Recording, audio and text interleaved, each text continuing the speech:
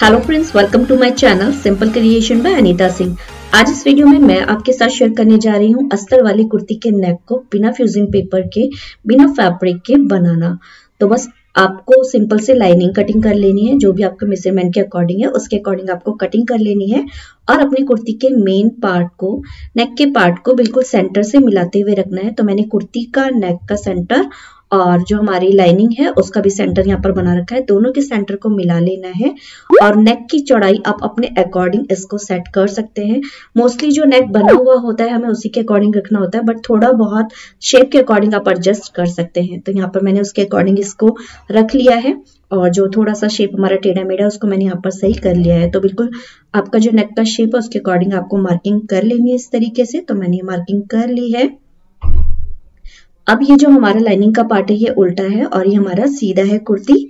अब हमें left side नहीं लेना है, जो कुर्ती का आपका राइट साइड होगा, इस राइट साइड को, ठीक है, इस जैसे हम बैठे हैं, उसी पोजीशन में राइट साइड जो है आपका, उसको आपको सिंपली इस तरफ़ लेके आना है। तो आप मैं एक बार दोबारा बताती हूँ, ये वाला जो राइट साइड है, आपको इस तरफ़ खिसका देना है, उल्टी तरफ़ लेफ़्ट साइड की तरफ़, और वहाँ पर आपको नेक के पार्ट को इस तरीके से रखना है। ठीक है, बहुत ही सिंपल है। कोई ज़्यादा डिफ़िकल्ट नहीं और बहुत आसान है इस तरीके से बनाना। बस कुछ बातों का ध्यान रखना होता है।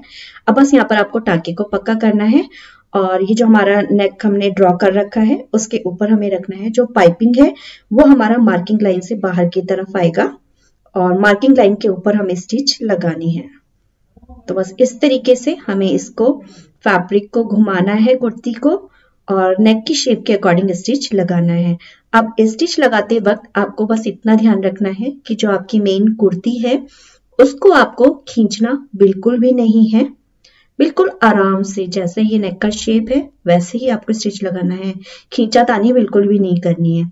अब ये जो आपका नेक है और कुर्ती का पार्ट है, ये बिल्कुल सेंटर मिलना चाहिए तो इसका आपको खास तरीके से ध्यान रखना है। क्योंकि अगर आपका सेंटर खिसकता है तो आप जब इसको पहनते हैं तो थोड़ा सा आपको वियर्ड लगता है नेक टेढ़ा मेढ़ा लगता है, ठीक है?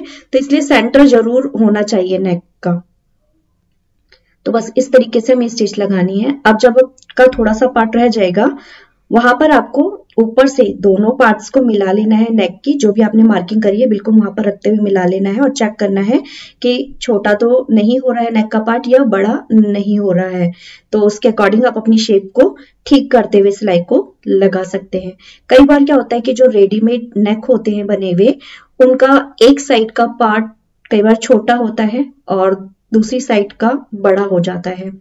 तो एक बार स्टिच करने से पहले दोनों साइड के पार्ट को अच्छे से मिलाते हुए चेक कर लें कि कोई छोटा बड़ा तो नहीं है। आप इंची टेप से मेजर कर सकते हैं सेंटर लाइन बना ले और सेंटर लाइन से दोनों साइड को चेक कर ले। तो उससे आपको पता लग जाएगा कौन सा पार्ट छोटा है, कौन सा पार्ट बड़ा है। ठीक है? तो मैंने यहाँ पर इसको ठीक कर लिया था पहले ही और उसके बाद ही मैंने ये कटिंग करी है।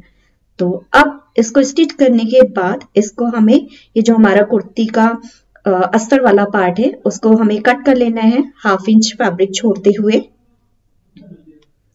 हाफ़ इंच से थोड़ा कम फैब्रिक हमें छोड़ना होता है और कटिंग करने के बाद हमें सिंपली इस पे जो हमारा राउंड है, वहाँ पर हमें नॉच मार्क कर लेना है। तो नौचमा करने से ही आपका, जब आप कुर्ती को पलटेंगे तो आपका शेप अच्छे से बन पाएगा। अगर आप इस पे नॉच नहीं लगाते हैं तो आपका जो शेप है वो अच्छे से नहीं आएगा, ठीक है? तो कट्स करना बहुत ज़रूरी होता है। तो अब इसको हमें रॉन्ग साइड पर पलट लेना है इस तरीके से। तो ये मैंने यहाँ पर पलट लिया है, ठीक है? अब इसको हम अच्छे से सेट कर लेंगे। तो आप देख सकते हैं यहाँ पर इसको पलटने के बाद हमें इसको आयरन कर लेना है। आयरन करने से ये अच्छे से बैठ जाएगा।